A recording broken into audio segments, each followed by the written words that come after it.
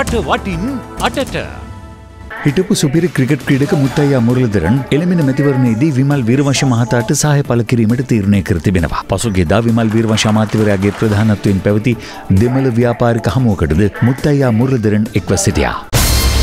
පයාගල තුඩාව ඉදිරිගොඩ වෙරලේ ඡායාරූප ගණමින් සිටි පවුල් තුනක සමාජිකයන් දස දෙනෙක් මුහුදට ගසාගෙන ගොස් තිබෙනවා. ඉන් එකම පවුලේ අවුරුදු 6, 13, 15 වයස්වල පසු වූ සහෝදරයන් තුන් දෙනෙක් සහ නව හැවිරිදි පිරිමි ළමයෙක් දියගිලි අතුරුදන්ව ඇති අතර අවට සිටි පිරිස සය හැවිරිදි දැරියගේ සහ නව හැවිරිදි පිරිමි ළමයාගේ දිවි බේරාගෙන තිබෙනවා. 13 හා 15 වයස්වල පසු වූ දැරියන් දෙදෙනා අතුරුදන් වී ඇති අතර එලෙස අතුරුදන් වුණේ බේරුවල කෝපියාවත්ත ප්‍රදේශයේ පදිංචි එකම පවුලේ සහෝදරයන් දෙදෙනෙක්.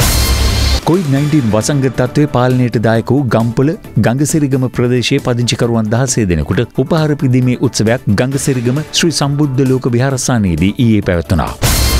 මුල්ලේරියාව නැගෙනහිර මූලිකරුහලි රෝගීන්ට අවශ්‍ය උපකරණ තුගයක් පරිත්‍යාග කිරීම කොළඹ විශාකා විද්‍යාලයේ ශිෂ්‍ය නායිකා මණ්ඩලය විසින් ඊයේ පස්වරුවේ සිදු කළා. මාස හතරක පමණ කාලයක් රෝගීව සිටි කතරගම දේවාලේ වාසනාහස්තියා ඇසල පෙරහැර මංගල්ලය සඳහා සූදානම් කිරීම අද සිදු කෙරුණා.